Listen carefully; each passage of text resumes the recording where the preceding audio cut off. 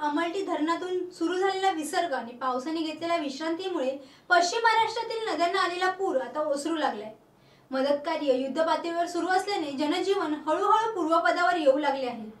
सातारा सांगली कोल्हापूर जिल्ह्यातून पूरस्थितीमुळे सुरक्षित ठेवण्यात आलेल्या प्रत्येक कुटुंबास तातडीने मदत म्हणून फुलसांगवी येथील काही दानशूरांनी कपड्याच्या माध्यमातून व श्री गणेश बहुउद्देशीय ग्रामीण विकास संस्था दिग्र संचलित शिवरामची मोघे कला व वाणिज्य कनिष्ठ महाविद्यालय फुलसांगवी या महाविद्यालयातून कोल्हापूर सांगली सातारा येथील पूरग्रस्तांना मदत निधी जमा करण्यात आली आहे.